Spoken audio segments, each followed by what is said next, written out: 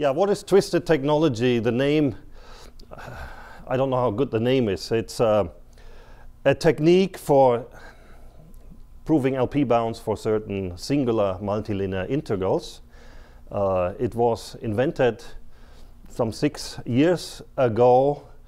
Uh, aha, I should be saying today I'm talking about joint work of my family. So there's Vjeko Kovac, who was a my student at UCLA six years ago, and he really invented twisted technology. And there's Polona Durcik, who is my present graduate student, and there's Kristina Škreb, who is my granddaughter because she's a student of Vjeko Kovac at Zagreb. Um, so he invented that twisted technology six years ago. I was very excited about it. I thought this should go into a very good journal. Uh, but then the journal said, okay, this may be a nice idea, but so what were the applications? So it still went to a good journal, but another one. So now I think last year we actually found some nice applications. We thought again maybe this should go to a very good journal, but then the journal said, oh, that's a nice application, but the technique is old. so, but still, uh, I'm not going to give any names. I'm just, I think it was very important to stretch over uh, this amount of time because it got many people involved and the progress would not have been. You know, maybe you should think, maybe you should save your ideas until you have both the idea and the application, but I don't think so. So, uh, what is twisted technology? It feels like PDE or energy method in PDE. We are doing uh, the Cauchy-Schwarz inequality we are doing partial integration and we do if a sum of positive terms is bounded then each term is bounded because they're all positive. So that's very typical. But we are not doing PDE we are doing multilinear singular integrals. And the thing that's maybe different or the only thing that's different from PDE is that the partial integration happens in the scale parameter. So singular are called singular integrals because they have an invariance on their scaling. So there's a parameter that scales, and you integrate in that parameter, and then you do partial integration in that parameter, and that's the only thing that's different from what people have done. So let me uh, start slowly. so let's define a function gt of x. This is a bump function. Um, it's uh, 1 over t e to the minus x squared over 2t squared. So that's a Gaussian bump function. And what we do is we scale it, so that's a function x, and we scale it by t. It scales so that the L1 norm is preserved. It's called an approximating identity. Um, so let me call this also g of x. I will suppress the letter t. Um, so the derivative the derivative then looks like this. All right, and the second derivative, the second derivative, and I like to do it this way. I like to first take the second derivative and then scale it by t. Um, well, this is close enough to the heat kernel. You imagine that this, uh, well, it's not quite the heat kernel because time is sort of the square of time. But nevertheless, you have almost the heat equation. So the second derivative in x is the following t partial t of gt of x. All right, and it looks again like, well, it looks like this. Uh, and I call this g double prime of x. So when I drop uh, index t, it's always outside. All these are scaled in so that the L1 norm is preserved. And this reminds us of uh, generating wavelet. This is a father wavelet, this is a mother wavelet. So you see some maybe little Littlewood Paley theory here occurring. Um, so what do we like to do? Now we like to do partial integration and we need an integral. So we need lots of factors and we need an integral. Let me write down an integral. g of x minus p, g of x prime minus p uh, g of y minus q, g of y prime minus q dp dq. So we certainly need an integral of a product if you want to do partial integration. And since we are doing multilinear, we always have very long products. Uh, but this one is actually not so bad. So G is a Gaussian. And what you can do is, you can, this is a product of a Gaussian in X and a Gaussian in X prime, rotate.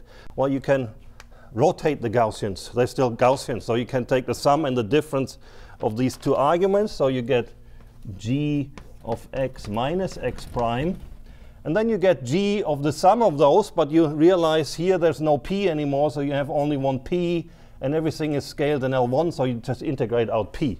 So you're losing the integral, and it's just that. And same here. And maybe up to a constant. I may be forgetting constants shortly. let's, for the time being, just mention that they are there.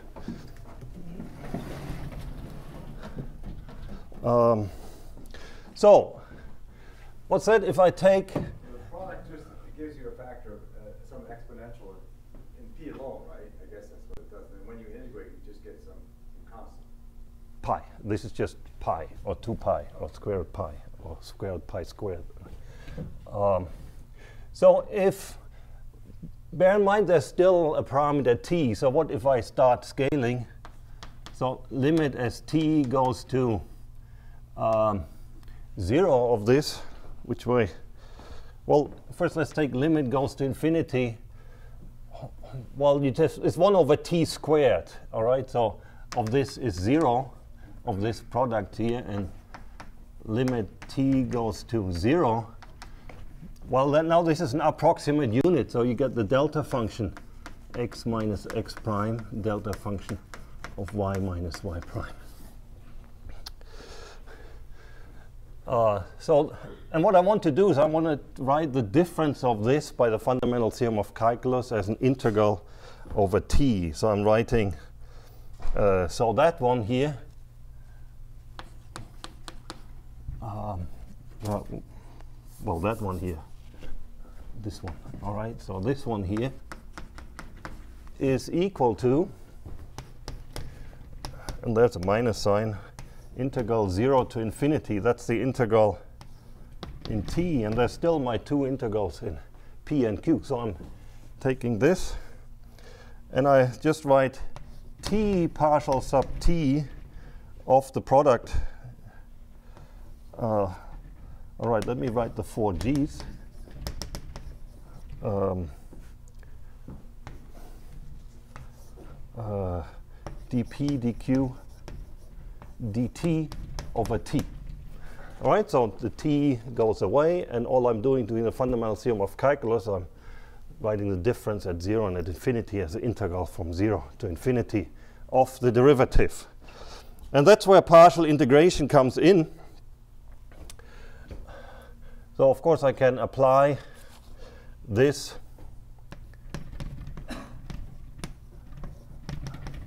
I can apply this operator by Leibniz rule, and I'm getting, because of my equation, I'm getting g double prime. This is my equation up here, and then g, g, g, dp, dq, dt, and then I get also uh, minus the same thing, and so on. I get, I get four terms. Hmm, this derivative can fall on any of these four. And now maybe I should um, uh, remember what the arguments are, which I didn't write, x. So the first two have a p in it, and what I can do is I can do another partial integration in the p integral. All right, this will move a derivative from here to here, because those are the two functions depending on p. Um, so I'm getting as minus, and I'm getting both. I do the same thing here. I get twice. I hope, uh, well, it's a plus now. Uh, G prime, G prime, G, G, and I still have dp, dq, dt over t, plus another term, uh, g, g, g prime, g prime, dp, dq, dt over t. So again, first I just apply Leibniz rule, I get four terms, and then each of them I have a double derivative which I want to distribute the wells over 2, which I do by partial integration in p and q. So that's an identity, it's another uh, not very difficult identity, but it's an identity, and what do we want to do with this identity? We want to make the following observation. Let's take a function in two variables. So would, would you just remind me what this identity is equal? You have star. Let's, let's go. Let's Oh, star. Aha, star disappeared. Star was, I can write it here. Dirac delta of x minus x Times zero or? Y minus y prime Okay. and the constant. Uh, but the constant we don't Uh, care. you are decomposing the delta function in each variable Yeah. as a smooth integral. Exactly. Exactly. And why exactly this integral you will see momentarily. Um, So that, well, that, you just shown us that, right? And you just, you just proved that. I have proved this identity. That's all I've done, and I. It, and yes, and also disappeared have the arguments. So maybe I fill back in the arguments x minus p, x prime minus p. Clarify again the role of the Gaussian. You needed to use that it was. I used it with this identity. Some parts had nothing to do with it with, any function, but the Yeah. product, where you use e to the x squared plus y squared. I used this sort of heat equation. The, the second derivative in x is the derivative in t. G is pretty unique to do that, but G, we will get rid of G momentarily. That's the whole point. Uh, G dominates all kind of other functions. At some point, I only need that G is positive, and I can use it to dominate something else. But at the moment, I do need a bit of algebra here. so I'm. Uh, uh, let me write the forenorm of f in a funny way. Uh, this is the board that I cannot move. Uh, maybe I. Yeah, pull that down. So we remember that. You remember that one, yeah. Finish on that board. Yes. You need to know what you're doing. I just need this identity and the definitions, but the definitions you remember.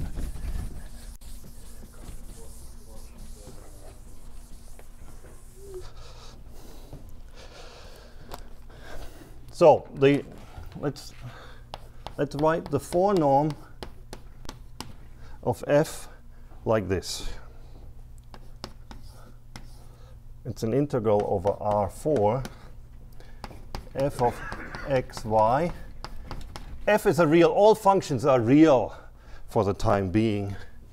I'm not writing bars, therefore f of x, y prime, x prime, y prime, uh, delta of x minus x prime, delta of y minus y prime, dx, dy, dx prime, dy prime. All right, so the delta functions have the effect that x equal x prime and y equal y prime. So I'm having the force power of f here, which I integrate over x and y. Well, that's a trivial identity. And now for this one, I can, But x and x and x and y are uh, they're, they're, they're, they're but they're in Rn or R. oh, they are in R. They are okay. They're in R, and there's four of them. That's. Um, all right, so, and now I can use my identity on the two Dirac deltas. So I do get, uh, this is going to be hopefully the longest formula I'm writing today. Uh, R6, integral 0 to infinity. I have all the f's, which I just copy one more time.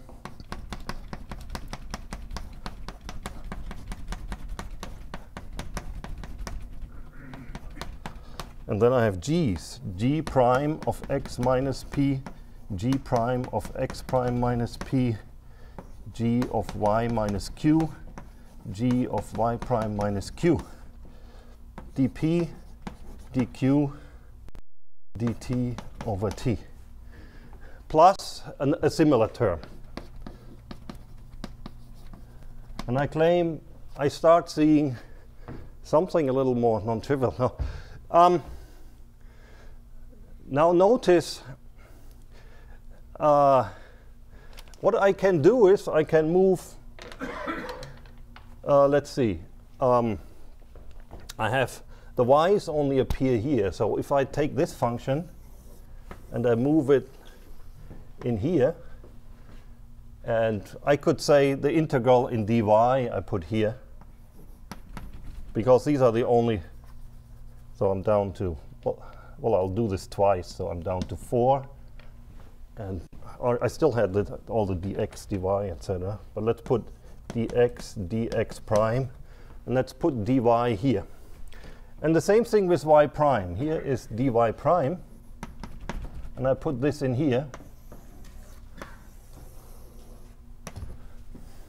So what you see, what's written there is actually a square.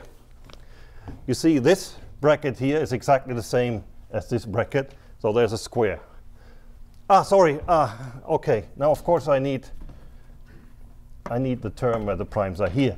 If the primes are on the x's, I reshuffle. The, the whole thing is completely symmetric in x and y. I can also, both terms are an integral of a square. So both terms are positive.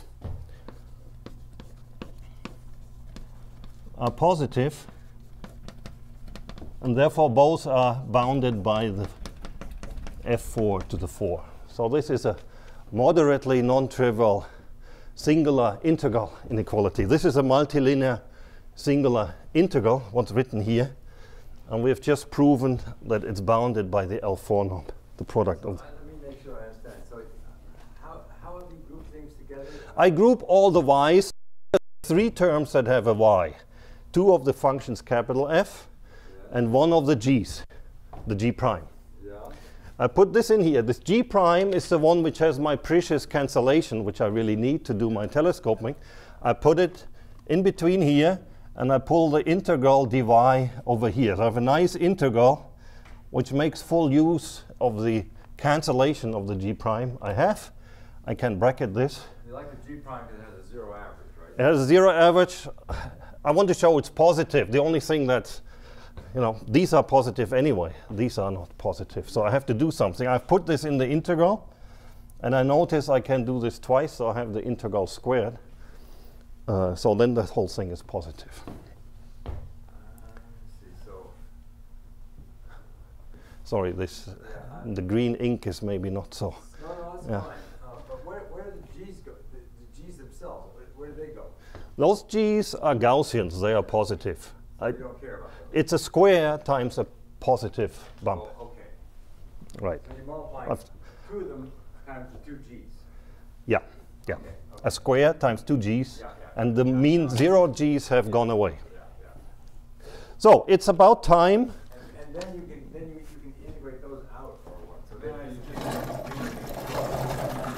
Hmm? I'm just saying the right hand side is best. Uh, the important observation is I have two terms and both are positive, and therefore each of them is bounded by that. That's an inequality, and that's the inequality I'm after. look impressive to us until he says I'll, that's the twisted, okay.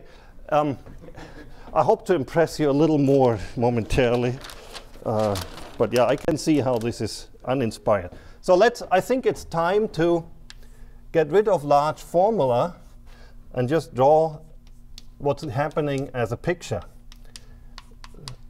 So let me draw the following picture and uh, explain momentarily what I mean by that. This is, this picture is describing part of what's written here. So there's four functions. These are the four vertices. I'm, I'm drawing a graph here, and the vertices are the capital functions I have there, and the edges are associated with the arguments. So the x appears in two functions f. So edge be between two vertices means that argument appears in those two functions. I admit this is maybe not the complete information because you could transpose or so, but let's ignore such subtleties. And let's also draw the following. We were keen on having two Gaussians that had the derivative. So those are the ones that have cancellation. Cancellation is precious, so we draw blue for precious cancellation. Um, now, let's do something more non-trivial, and let's, I don't need this. So what if the four functions are not the same? It's very important that the four functions are the same if I want to be manifestly positive. Well, is there some sort of polarization that I can do here to get an honest multilinear uh, estimate? And that's where Cauchy-Schwarz comes in. If so, let's try to take four functions and let's, for simplicity, because we are after a multilinear estimate, we may just normalize all norms to be 1. And let's try to understand whether this thing, f, g, h, k, um, uh, x, x prime, y, y prime, and I think you know exactly what I mean. You just replace the f's. That, just put that in there? That just is that, but there's a g, h, k, and the- But, but you, that represents the whole integral or just the? that's the whole integral. This represents the whole integral, and I admit, Not just the integrand. yeah, the whole thing.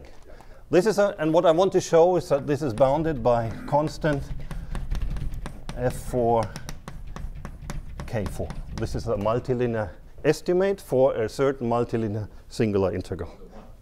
Hmm?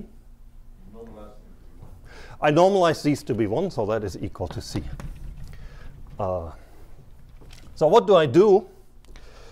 Um, well, I still do this packaging with the green integrals, and I notice I can interpret this whole integral as the inner product in some Hilbert space given with this weight of something with something else, and I can do Cauchy-Schwarz.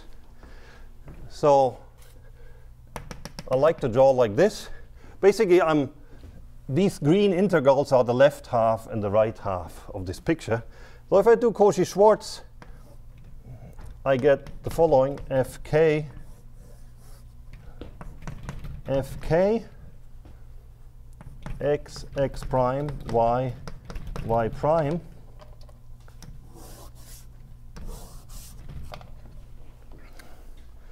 uh, to the power 1 half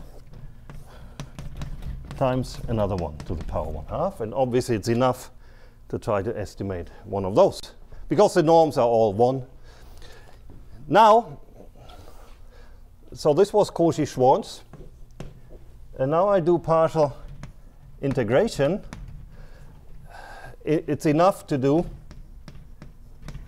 Um, what does partial integration mean? Partial integration means I can move the two primes to those two g's.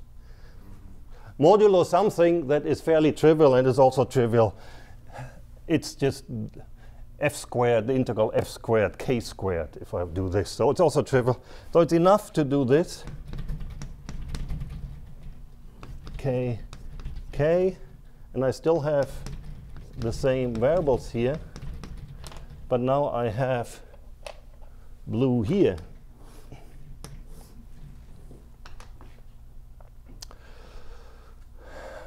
Now we do Cauchy-Schwarz again, cutting this way. So that means we reassemble instead of the y's, we collect the x's, and we get this. And now we have all of them f's. y, y prime, x, x prime.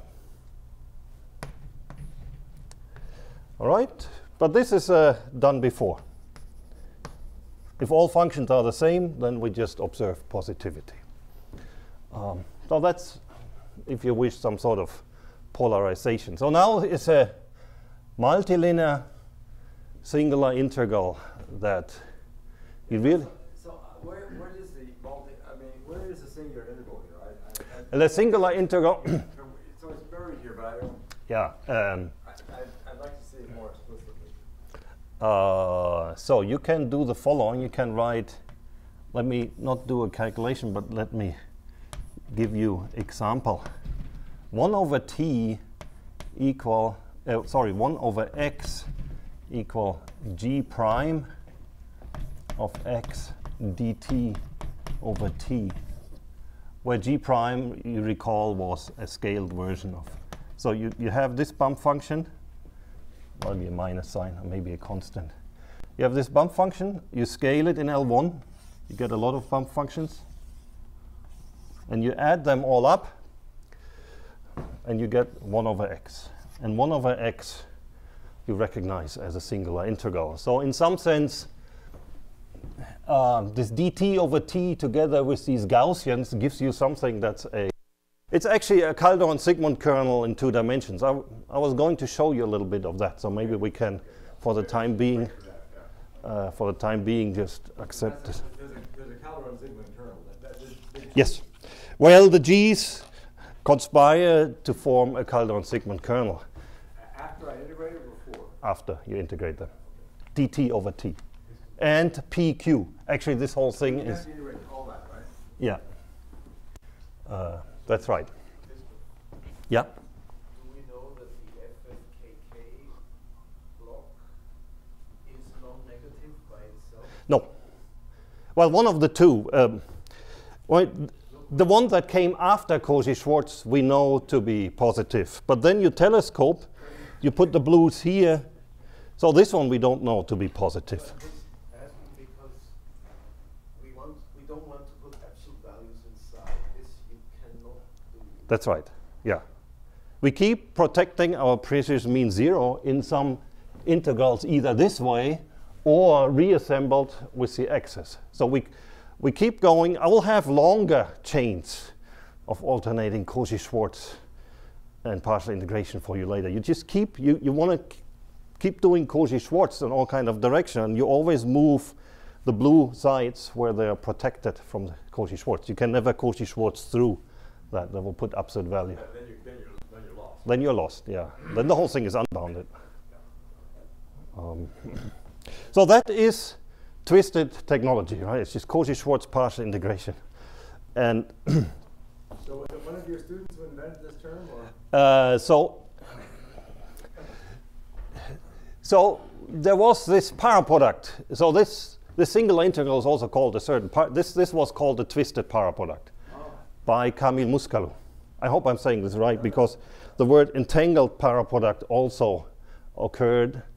Um, it's a, some kind of biparameter theory, and the two parameters x and y are kind of skews. Product here, I, I never, This is a non-standard paraproduct. It's uh, sort of uh, it's a biparameter paraproduct, but in a funny way interlinked. That's why it's called twisted or an entangled. So it's called a twisted paraproduct, and it's only now this what I wrote here. Okay, well, what I'm going to tell you next is only known as of last year. So Yeah. um, all of your continuum calculations are analogous to dyadic sums in some ways, like what you have there. Yes, yes, yes, yes, yes. Yeah, that's right. You can also write down the dyadic models. And this is what Vjeko Kovac did. So he first did this in the discrete. He did this in the discrete, and I guess if you had challenged him to do it for Gaussians, he might have been able to do it. But the real challenge is to do an arbitrary Calderon-Zygmund kernel. And that he couldn't do. And that was my other student, Polona Durcik, doing just last year. Uh, no, uh, two years back or so, two or three years back. So that's, you see, for a number of years, we could do this interesting thing only in the dyadic case, and that prevented us from having some nice applications because the real world is real.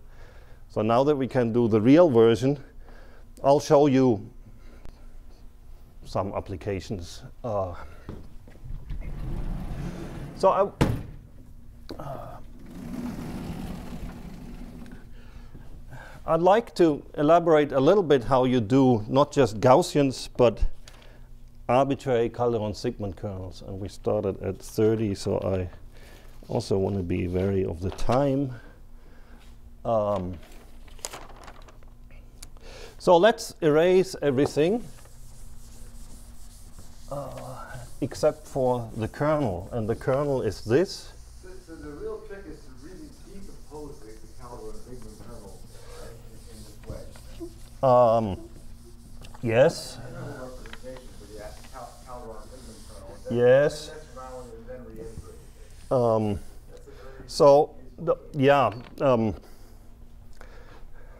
Of A has nothing to do with G prime. That's just a change of variable.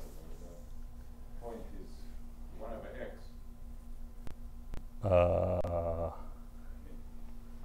this over there. Yeah, yeah, absolutely. This has nothing to do with G prime. G prime was only used with the heat equation. And it's kind of crucial. You have to have something like the heat equation. So this is,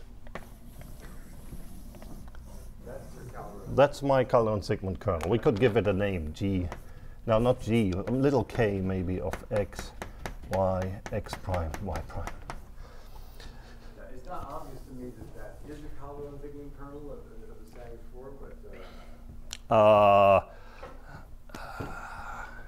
so it actually is, thanks to the integral in P, it's actually a function only of, just like with the Dirac deltas, y minus y prime. So now it's a two-dimensional. yes, it's gotta be. a And if you, if you want, I don't know whether it's that, but it could be So it has zero average over x uh, y minus x prime y prime lengths to the third power. All right. That's what it will look like. It will look like a lot like that. Maybe not quite that. Um, Yeah, multivariate, multivariate. yeah. Uh, so there is a theorem by Polona Durcik having an arbitrary kernel like this and then proving bounds if you replace this by an arbitrary. Well, the kernel has certain symbol estimates, usual things. Um, let me just impress on you how roughly this goes. And so let's do, um, instead of arbitrary, instead of Gaussian, let's do arbitrary Schwartz functions.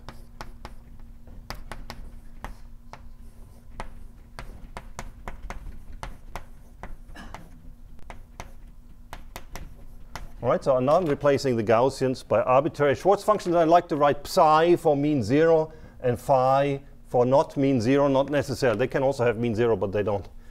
Three, or five?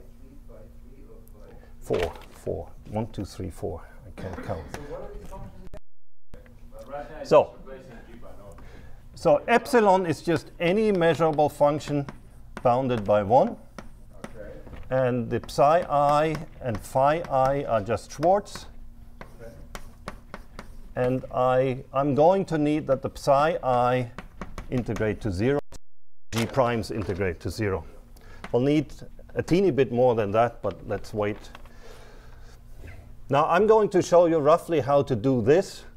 And then I appeal to you that I can decompose an arbitrary kernel. This, this is pretty standard. This is maybe not the main point I'm trying. I'm just trying to why Gaussians? Well, Gaussians because of the heat equation. How do I get rid of the Gaussians?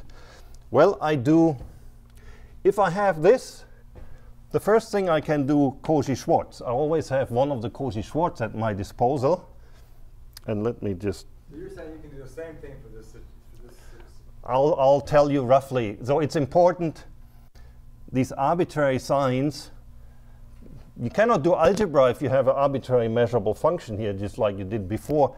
But the first Cauchy-Schwarz completely gets rid of that because the first Cauchy-Schwarz is an all variable except of um, the x's and the y. Uh, Or, I mean, depending how you shuffle it. So after Cauchy-Schwarz, this gets replaced by psi 1 of the, these are this is a mean zero function that I'm protecting inside an integral. It's untouched. However, by Cauchy-Schwarz, it doubles up, so it becomes this one. And now, to be safe, I'd like to write a bar because of Cauchy-Schwarz. So those are the ones I am, I guess, I'm in this picture, all right, where I do Cauchy-Schwarz like this. This thing gets doubled up, so of course, whatever function I had here is now also here. So this is And this one where weights that get, if ever they had cancellation, that's destroyed now because I used them as weights. And this one is gone because it's bounded by 1, and this is positive. Um, so now I can do the following. Now this is a Schwartz function. This well, this is no longer a Schwartz function because of my modulus. It may have uh, not all derivatives I want, but it's rapidly decaying, and I cannot necessarily dominate it by a Gaussian. Aha! I should first say, if I put alphas here, or betas here, this works just as well. What does alpha and beta mean? Alpha beta means that I'm additionally scaling well, g alpha of x equal um, e to the minus alpha x squared. Let's put it this way. And then you do t. So you do over t squared, 1 over t. So what I want to do is I want to scale the Gaussian. And what I'm trying to say right now, I could have done the whole argument with scaled Gaussians. Nothing would have changed. So I can write any Schwartz function as a superposition of Gaussians. The Gaussian may be too rapidly decaying, but if I allow superpositions, I can just dominate this by Gaussians. So here are Gaussians, g beta y minus q, g alpha y prime minus q. And here, um, what I like to, I like to replace, or I like to write this So, so I still have to be careful here. I can't dominate it. But what I want to do is I want to do a partial integration. I want to, I like to write this. You will recognize this as ddt of a phi x minus p phi 1 phi 1 bar x prime minus p.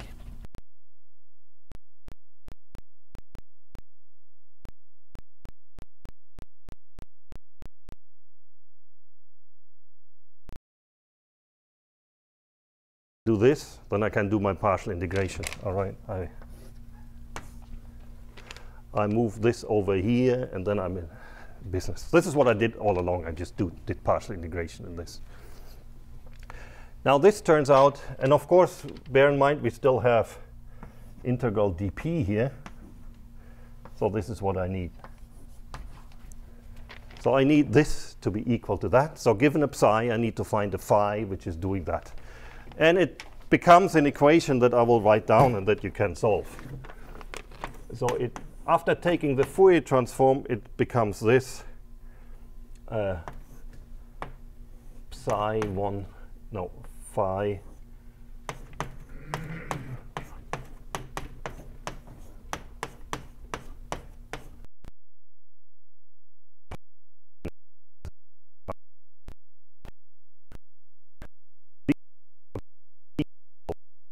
um, so in differentiate. So here's an equation I need to solve. That's a very simple equation to solve. So for under some mild assumptions on this phi, the little bit problematic to make sure that what you get is still a Schwartz function because it's supposed to take the square root there. You make some assumptions on this phi, uh, psi, and then you can solve this. Once you have this, you can do the partial integration, move this over here, and then you have g primes here. All right, then you have G primes here, and then you Cauchy-Schwarz. These are now weights. Later, they can be dominated by Gaussians, at which point they're all Gaussians here. So again, as you move along and do your Cauchy-Schwarz, whenever you have a chance, you dominate something positive by a superposition of Gaussian. In the end of the day, you arrive at everyone Gaussians, and then you can do your algebra. Um, so that is and I, am not going to write it down, but again, so we have basically proven a twisted paraproduct with an arbitrary Calderon Zygmund kernel here. May, I'm not sure whether it's visible to you. I don't really. Twisted power product L4 non-bound, You can also prove other LP bounds, but then you need another technique in addition to that. So this algebraic miracle here is special to exponents 4. Um, so, the, um, yeah, it. Um, uh, this that that these x's were in R1. I'm pretty sure you can put them in RD. Yes, you can. Uh, yeah, all right. So you have to work a little bit. This, what I'm more, all right. So that's a question, and there's been some. There's been one paper we really needed RD, and they did. Hmm? You chose to use four factors, what if you use eight factors? Yeah. What if you do three factors? you see that the important thing is not to do more. The important thing is to do less. So let's do three factors. But then how do you get your productivity? Uh, yes. So this is called the triangular Hilbert transform. You will, let me first draw the picture. Yeah, I mean, you can do cubes. Cubes are very natural. Cubes. Yeah, positivity is gone. That's the problem.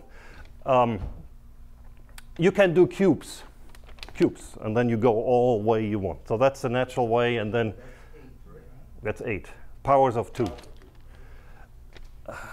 And then you can just, and then you can prove things where you're not just L8, L8, but you are L infinity, L infinity, L something, and then the L infinity would be constant one, and then you have something for six. But the, you, you start with a cube, and whatever the cube gives you is what you get naturally.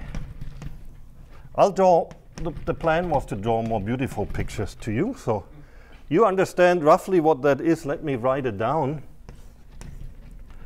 Um,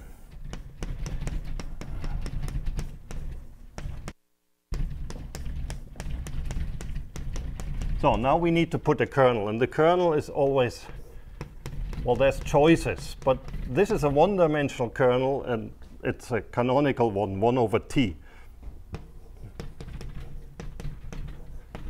So, and whenever I do this, I should put principal value, or, or I use my formula for 1 over t and I write this as an integral dt over t from 0 to infinity. For example, of g prime. In fact, let me do this right away. R3 um, f g h uh, g prime of x plus y plus z dx dy dz dt over t. That's actually equal to that by an identity we had on the board earlier.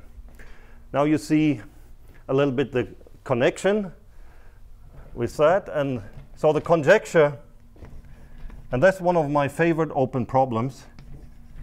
Open problem is that bounded by constant times the three norms.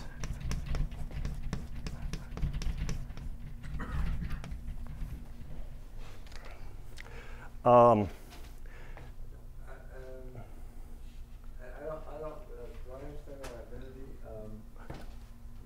uh, do I understand our identity? It's supposed to- let me write one more time. You know how to integrate Gaussians pretty well.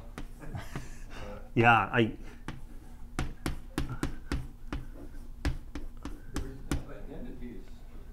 that, not that one. that's I used here, right? Is that? Yeah, yeah. That's all I did.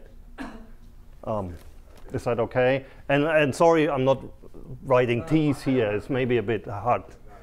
So, so in this principal value, uh, there's only one canonical way of regularizing it, or Yes, um, it's this way. Let's just put it this way.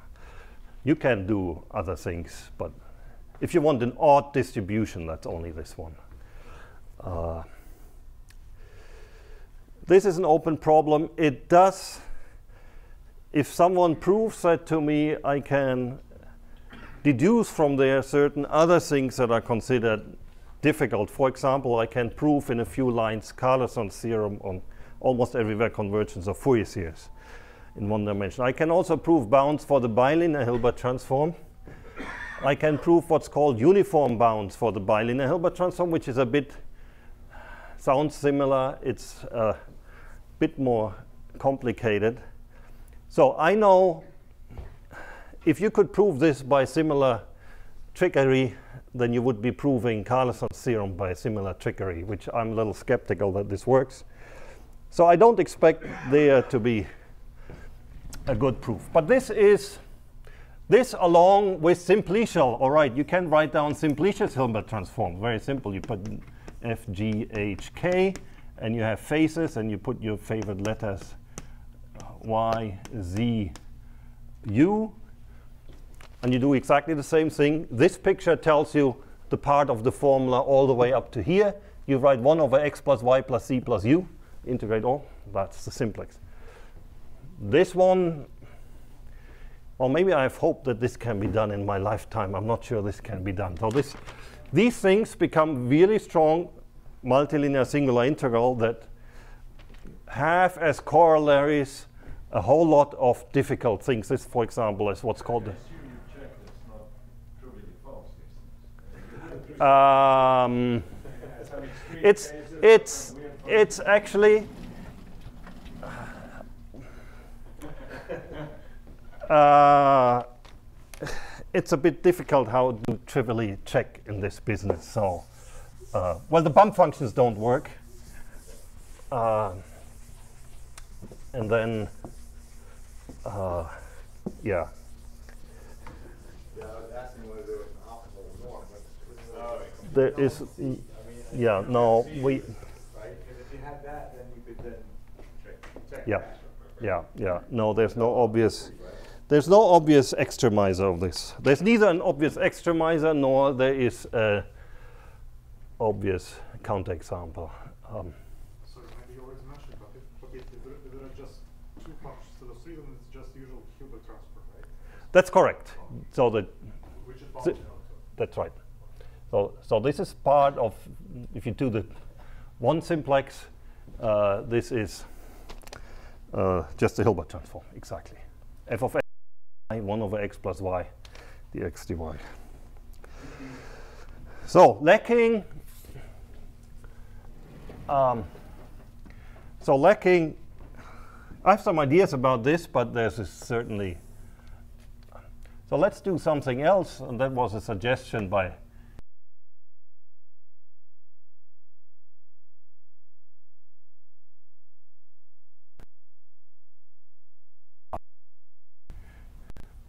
Now, let me point out if this function,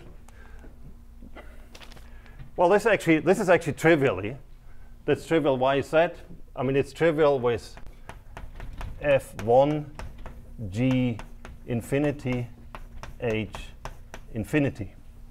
So what if you put these in L infinity? You just put absolute values inside the integral, put those two in L infinity, they're gone.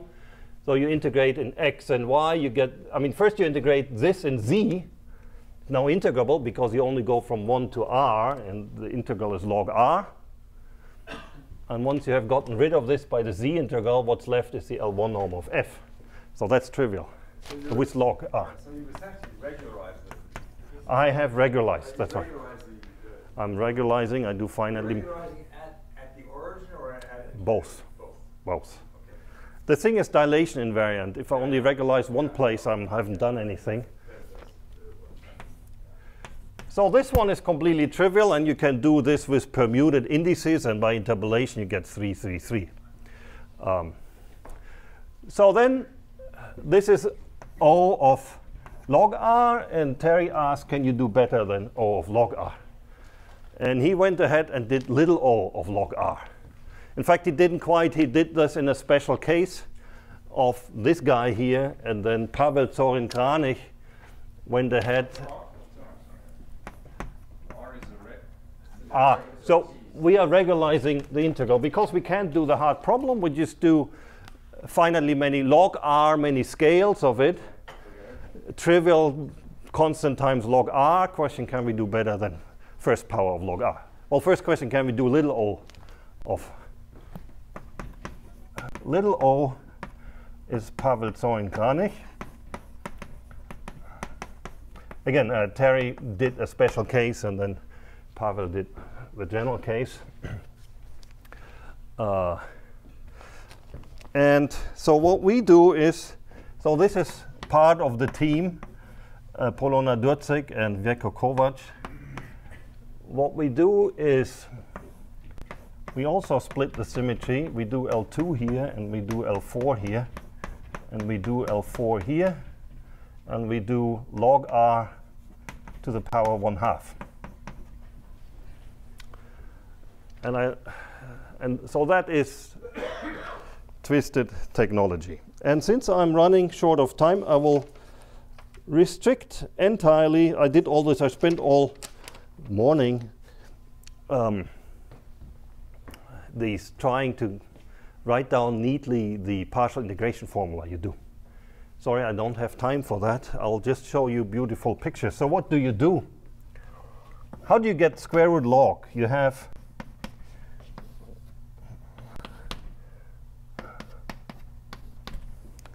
what you do is the following. You single out one function, and you should think of initially, um, you do, so we wrote like this, but we haven't yet the p's and q's. You can throw in p's and q's and write additional to have. What you want is you want really elementary tensors in x, y, and z. So you can put a Gaussian each on each. And if you do that, you have the luxury that all of them have mean zero. Uh, but you can't use that. So what you do is you do a Cauchy-Schwarz anyway, say this way. So you cut brutally through that. I mean, it's lossy, and it's lossy, that's why we get square root log. And what do you do? What do you get? Well, you get one thing from reflecting the lower half. You get this thing. And you get the half power of that. Right, this is Cauchy-Schwarz. And then you get, reflecting this thing, you get something you haven't seen before, and it has no mean zero. That's just a Cauchy-Schwarz. I hope I have drawn enough pictures that you can envision this Cauchy-Schwarz. You're, you're putting one of these Gaussians between g and h. You make an integral here where you preserve the mean zero, which is this one, and then you do Cauchy-Schwarz in the other variables. So this we have seen before. And what is this one? Well, this is completely trivial. In fact, well, what is it? It's f of x, y, f of x, y, and then there's going to be Gaussian x plus y plus p integral dp. You see, this is just a Gaussian integrated. This goes away, and what you have is the L2 norm squared. So that's the L2 norm here. But thanks to Cauchy-Schwarz, you have a half. Well, here you can't do anything intelligent other than the log r. But thanks to Cauchy-Schwarz, it comes with half the power. So that's the proof of this. Uh, you can do the same thing with the simplex. Let me impress on you by drawing the picture. So here's the simplex. You cut off one corner, and you get a prism uh, times log r to the 1 half. Something trivial, the corner is trivial, and this. Now this is still not okay, so now you telescope. So after that you have mean zero here. You have to do a telescoping to move the mean zero elsewhere. That's just integration by parts? Integration by parts, yeah, because we first did it uh, discretely, we call this telescoping, which is integration by part in the discrete. You move the precious mean zero elsewhere. Now you cut this off, and then you get uh, the cube. Plus again something that you can do, log r to the 1 half. But since this was already half, the whole thing is a half, so this is a quarter. So we are gaining a quarter. So the higher we go in the simplex, we gain 2 to the minus n. Um, so that's these are the promised high-dimensional pictures. Um, do I think this is sharp? Of course, I don't think this is sharp because you're doing something so brutal. Uh, I can go at length how I think to approach this problem, but maybe not here. I'd like to give you one more application. Uh, is the time is an hour? Is that correct? Or should I stop early? Yeah, than that? No. Let me remind you of Birkhoff's theorem. Just get, I can remind you of Birkhoff's theorem. Um, so let's, we have a probability space and we have a measure preserving map to itself. And we have a function f in L2 of x. And we like to take the ergodic averages. So that's i equals 0 to n minus 1. a n f of x equal f of t to the nx. Hmm? I need to divide by n, thank you. So that these are averages. t to the i also, thank you. Um, so, uh, these are new functions, averaged functions, and the question is, do they converge? So it's von Neumann's theorem, uh, around 30, that ANF converges to F in L2. And it's Birkhoff that this is almost everywhere in X. It's very closely related. to papers uh, about simultaneously. And then there is. It. Yeah, yeah, yeah, yeah. That's, I don't have time for that, but yes, there is. Uh,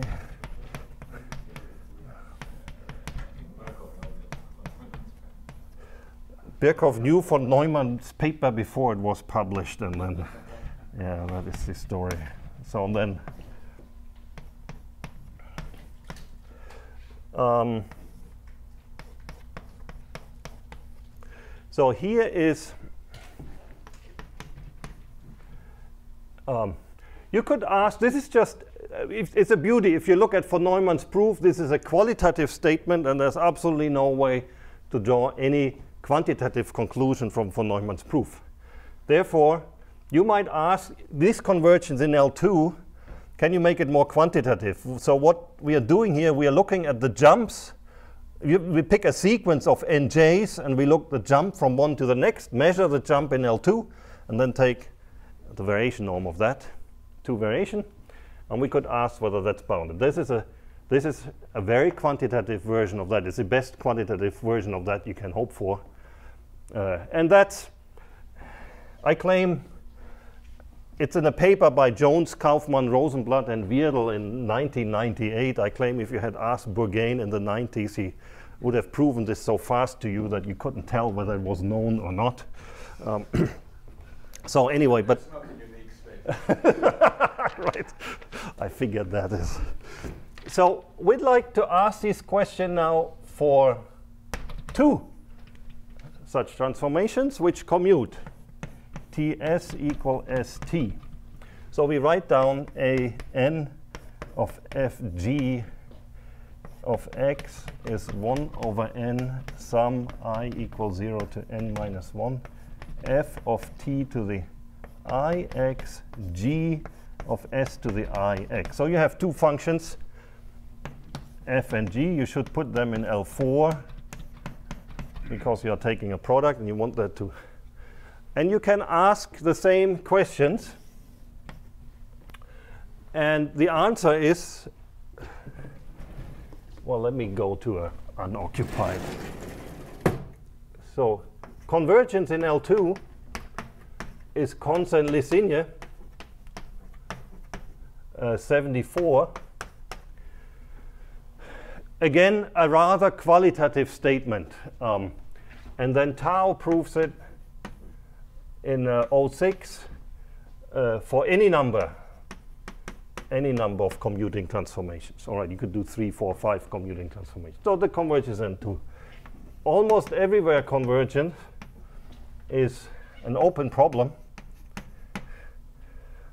Uh, I submitted twice a paper to ACTA, and each time it came back and said, "We don't take this, but if you prove this result, we'll take it." so, and you could ask quantitative convergence. A and j of fg, a and j minus 1 fg. Um,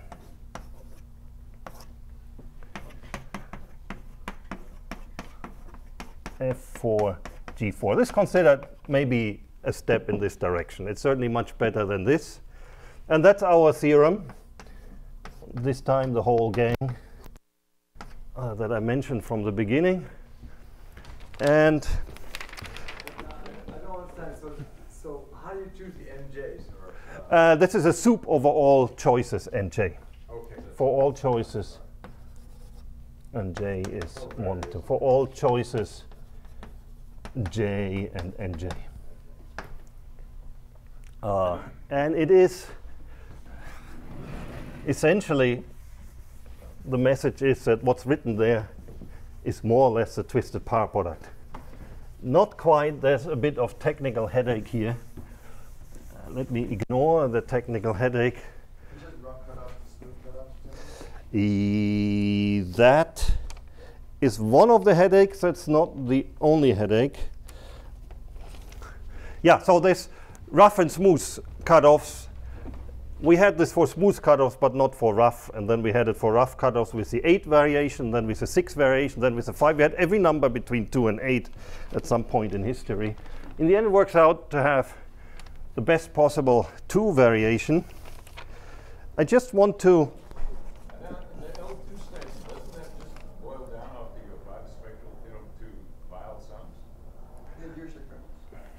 Maybe a little bit of, en- of, mark- Um, Right, and then just about. It is it is some sort of singular integral. Now I well, that direct like kernel, but the point is it's a question about it. well it is tautologically the same as the twisted paraproduct. So if it's also Weil sums, which maybe it is, I'd be This is the easy one. huh? What about the- This one, this one. You thought, oh yeah, yeah, yeah, yeah, yeah. No, this could well be just Weil sums. Yeah, sorry. Yeah. no, there's there's various ways. There's singular integral proof of this. This could just be Weil sums. Um, so what do we do? Um, it sounds like ergodic theory. Really, it isn't. You do um, you do the following: x plus uh, s y g of x y plus s. These are the uh, parents of all commuting transformation. You're on the plane, you shift it this way or that way. These are two commuting transformations on the plane. The plane is not a probability space. Nevertheless, there's a transfer principle from here to here. You do um, a bump or Gaussian Gaussian of s uh, uh, ds. Uh, and you call that a t of fg of x, um, where this Gaussian still has a t here, all right, the scale. So this is just average in first direction, in second direction, any bump function. It's smooth, it could be not smooth. That's a technicality. And now you're taking the difference, a tj minus a tj minus 1, and you get g tj minus GTJ minus 1 of s ds. And now you take the L2 norm of this, and what you get, maybe I should write capital functions here. So, so you get the following x plus s y gxy plus s f of x plus a different s prime g of x y plus s prime and you get let's call this cheating a little bit g prime. This is something of mean zero. Let's call this g prime of s g prime of s prime ds ds prime. And um, and then of course all the dx dy dx prime dy prime. So this is r6 uh, aha there's still some of a j still. Oh so these are j j the j's difference. It looks already a lot well the arguments are maybe a little and here comes the other trick that we haven't seen yet. So u call u equal s plus x plus y and call v equal s prime plus x plus y then what happens? You're trying to do a change of variable. There's none of them is u, but you can shear the function so that this becomes x plus y plus s, y. So you call this, it's a different function, it's a sheared one, u, y. And you do this everywhere, x, u, and f of v, y, all are slightly modified function. But they don't change the L four or whatever. Shearing doesn't change the norm of the function. Yeah. The f tilde has the same L4 norm. You see the arg- argument structure of the twisted paraproduct. You're seeing some Gaussians, and you have to take and face that after. The sum in J is more or less the integral dt over t. And I think I just want to leave it like that. I, whether I write more or not, you get the idea that uh, the problem is that these one problem is that it's not actually a Calderon-Zygmund kernel because of these long jumps. You have to work a little bit on that. This is I, this is what I would say is maybe the biggest piece of work. Also pushing down to the L2 variation rather than the L8 variation. That was tedious. Uh, but if we had arrived with the 8 variation, that would have been maybe just fine. Uh, but you have to deal with this. So a great open problem is, which hope I hope is attainable. How about three commuting transformations? So we do know from Tao that we have L2 convergence in uh, for three commuting transformations. Can we do that? And somehow my philosophy is really this already should be more or less at the level of this guy. However, we luck out because we are asking a two variation that's taking care of the first Cauchy-Schwarz. So I'd like three commuting transformation to be a little bit like the next higher simplex. And I don't care whether that's the two variation or the four or the eight variation. I just want some really weak uh, convergence in L2. That's better. Tao just that, that's pretty qualitative. Maybe it's some tower log or whatever. Uh, there's, but there's nowhere near any any exponent r would be a great improvement. So Would you it, settle for like little o of j to the one half on the right side? Yes, I would also do that. I don't know how to do that. I don't know how to. Yeah, absolutely. Yeah. So, or else maybe since, since here you can handle non-consecutive scales, is there hope of doing the, the truncated superpositional Hilbert transform over different different scales? I mean, it seemed in the Uh, it's the straight over different. uh, a great enemy are the jump over scales. If I don't jump over scales, I have a whole lot more of tricks. The point is, if you jump over scales, you, you're too far from telescoping. You can, so, so you have to decide. At some point in our proof, we get rid of the, by some trick, we get rid of the jump in scales and we just become consecutive scales. Now it's a question, how do you sort this? Do you first lose, of course, after doing this, you no longer get to lose your j to the one half on the right hand side because it's gone. So somehow you think you have these toolbox at your disposal, but you don't know how you sort them so that you don't destroy applicability of the next tool by doing the first tool. And if you do it the other way around, you also destroy the other one. So, the, yeah. So, So- this is a really strong entropy statement. It says that the number of t jumps that these Yeah. averages make is like t to the negative two. That's right. That's, that's the strongest possible entropy Yeah. statement you can be So hoping this for. isn't quite okay. So this is what I propose is a problem that would pro- provide evidence that would take you from this to, to evidence for the almost everywhere convergence. So this isn't. I can't. I, But you know, Bourgain has his entropy. Yep. says Absolutely. Implies yeah, like log entropy or something. So like two to the negative yeah, two. yeah. Is Um, there a way to? Is there like a bilinear entropy? uh? My courses, in particular, Vjeko Kovac, has looked more thoroughly into that than I have, frankly. Uh, yeah, if it was completely immediate, he would have caught it.